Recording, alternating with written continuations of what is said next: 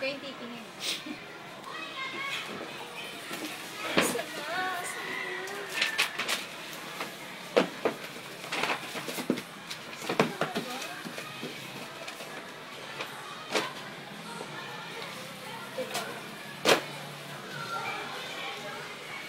Tama na.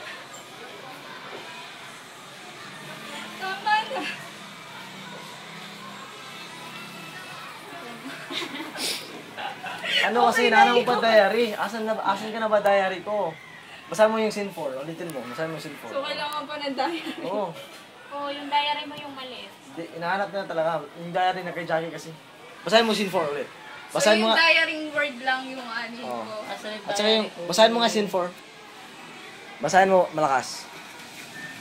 Para maintindihan namin kung anong gagawin mo. Para maturuan ka namin din. Dumating si Leia sa kanyang tirahan. Hinanap niya ang ka- kay sa isang picture ng mama niya at naalala niya na nakaipit nga pala yun sa diary. Nag-hallucinate siya. Tapos nakarinig siya ng tinig ng iyak.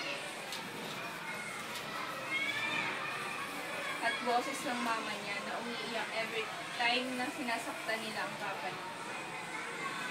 Sinasaktan sila ng papa niya. Tinakpan niya ang kanyang tenga para palagi siyang umiiyak.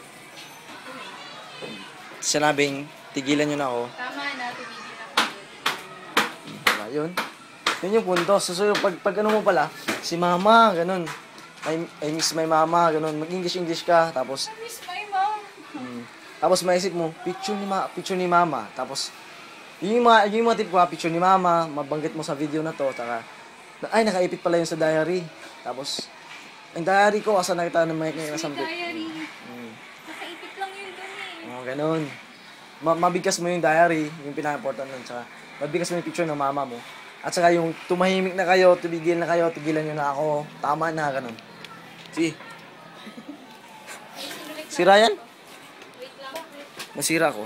Oo, nasira ng kasama ko. Para saan ba to? Para sa picture taking lang yan. Game.